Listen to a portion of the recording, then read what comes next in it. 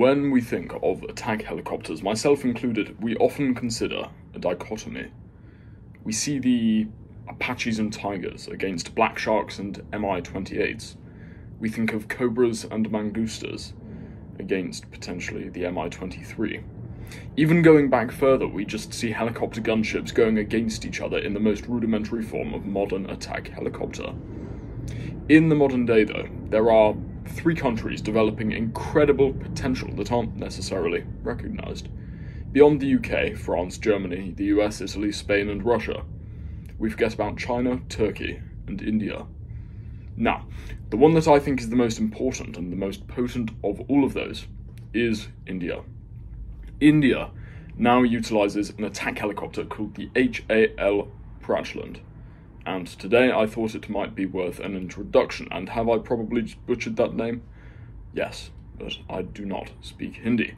So the first thing to note is that this is uh, this helicopter uh, was first formally introduced to the military in 2021, and it's an Indian-run project solely. So it's modern and it's domestic, which is hugely important because India has often in the past for uh, particularly military vehicles been a sort of mishmash of getting them from where they can.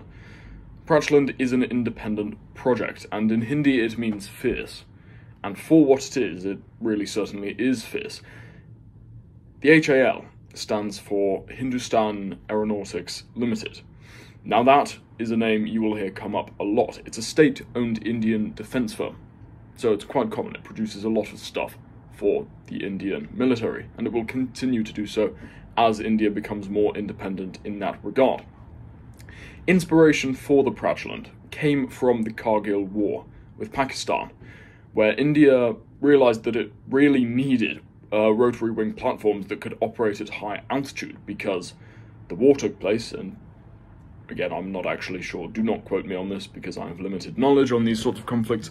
I believe the Kargil War took place around somewhere in Kashmir, and Kashmir, or at least a chunk of it, is located, would probably be the west Himalayan mountains. So it's quite important that altitude is factored in.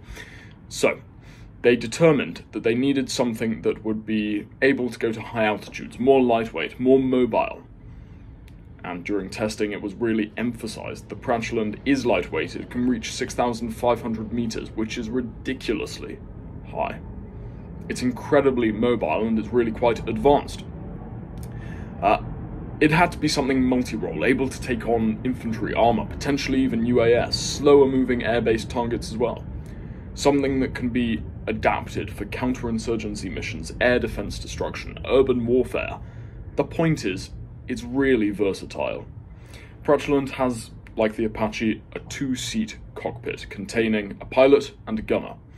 The gunner utilizes the M621 cannon, as well as other armaments featured on the platform hardpoints, which are on either side of the vehicle. Uh, and these hardpoints can integrate a lot of different munitions, so anti-armor, anti-air capability, from a plethora of different countries, they're still utilizing a lot of versatile munitions, but notably, it's also compatible with the Helina tank uh, anti-tank missile, which is an Indian-developed missile. So, uh, it can utilize missiles, rocket systems, in-pod orientation, and all of this uses an integrated helmet-mounted sight, as well as a pretty advanced degree of HUD. The vehicle itself has incredible stealth, not only because of its smaller profile and composite, composite materials in its own construction, uh, but it's also, and this actually does blow my mind a little, it utilizes digital camouflage systems. And what that means is that it can change its color and camouflage based upon the environment, aided by computer sensors. So, no painting, none of that. It's you know, partially electronic. So it's effectively a flying chameleon instead of, you know, well, instead of having a really long tongue, uh, it has a cannon that spits out, you know, many rounds a minute and missiles. Prachland also utilizes other features to reduce its radar cross-section, as you would expect for, you know, quite a few attack helicopters.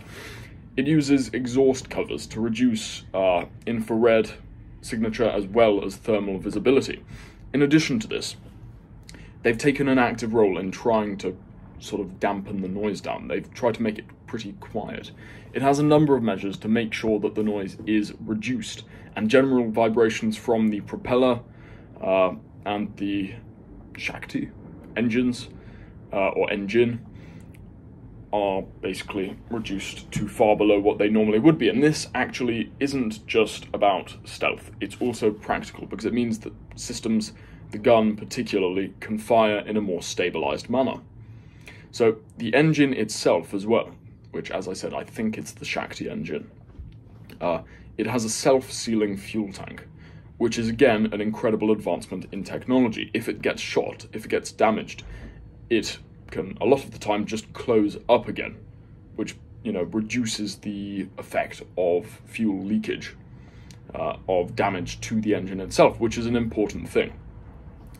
It also has an HUD, which combines with a TADS system, and that alongside the glass cockpits with inbuilt uh, projection features really make it powerful for targeting. It has multiple warning systems for radar, for incoming missiles, for lasers, and with this it's also got its own laser rangefinder, designator, an infrared sensor, a CCD camera, and general visibility from the glass cockpit. It operates in all weather conditions and at night, of course.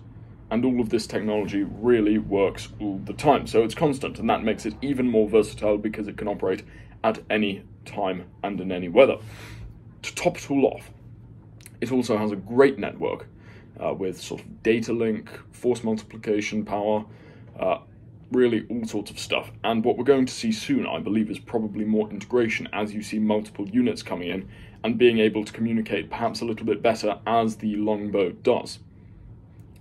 So, do I prefer it to the longbow? No. But should it be ignored with the degree of advanced technology that isn't featured on any other rotary wing aircraft, and, you know, at the very least is impressive in its own right. Obviously not, it shouldn't be ignored. It's really very advanced, and one of the most capable attack helicopters on the planet, and to deny that and to ignore it as it largely is, is foolish, in my view. It's hugely versatile, very lightweight, has excellent operational capability, and that's only going to improve with upgrades. It's only just arrived, and it's, you know, already pretty damn good. So, I'd keep your eye on Pratchland.